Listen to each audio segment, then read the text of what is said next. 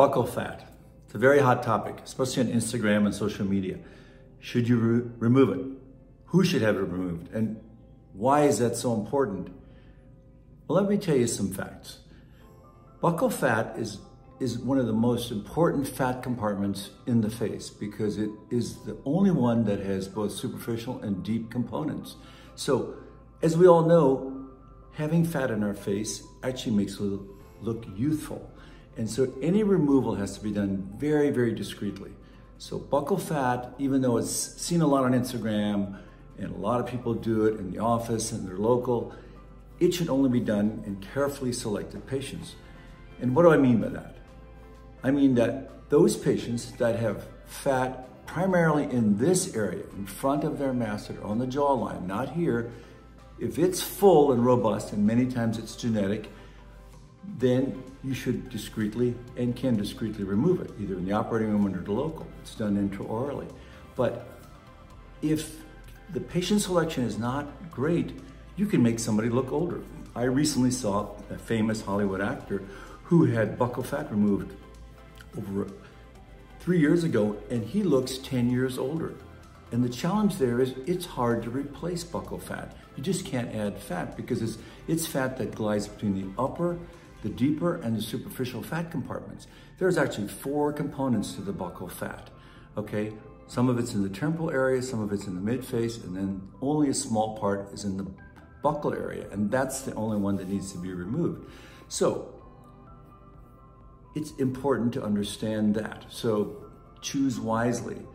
So, carefully selected patients, those with congenitally full faces, and one day clench down and put their tongue to the top of their mouth. And if they have fullness in this area in the front of their face, they're good candidates.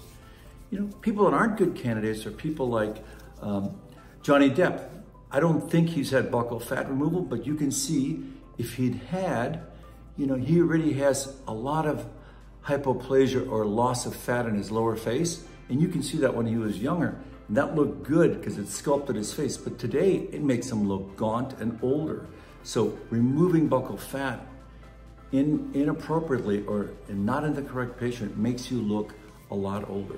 So assess your patient, find a plastic surgeon that understands the science of aging and understands that fat is, is an essential part of looking youthful and unnecessary removal can actually make you look older.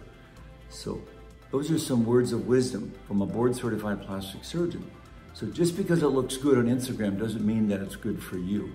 Okay, so in summary, buccal fat is an important part of our face and how we look and animate.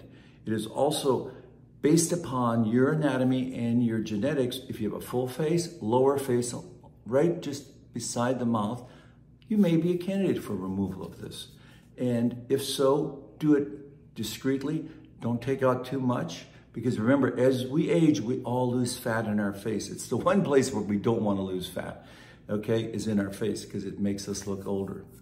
And know before you go. Find a board certified plastic surgeon that does this a lot, that understands the science of aging, that is a facial aging expert, and you will have potentially an amazing result if you follow these guidelines hope you enjoy this. As you know, my goal is to help you become a better you. Have a great day.